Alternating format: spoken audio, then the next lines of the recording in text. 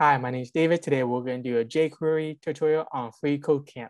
And we're going to learn about how to change the text inside of Element using jQuery. So there's some function called .html that lets you change the HTML tags and text within that element. So here's an example. We're looking at the element H3 and everything inside of the H3, we're adding the HTML, what's going to go inside of it. And this is going to be a, an emphasis on jQuery Playground closing, and we have to do closing it as well. And this is all inside of quotations. And there's also a similar function as well, dot text.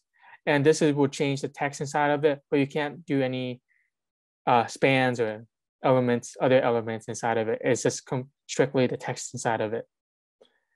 So and for this exercise, it wants, to, it wants us to change the button with ID target 4 by emphasizing its content.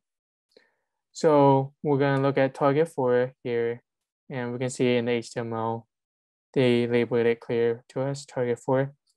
So I'm just going to copy this for now, but then change it to target 4. So jQuery, going by ID, the ID name is target 4. and now we do .html, and inside of this, we do quotations, and we want to add em tag and we want to have the same text edit that it had before so we can copy and paste that. So it had hashtag target 4. So we get that and now we close EM.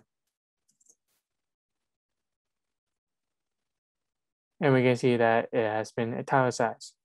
And that's all for this one. Thank you so much.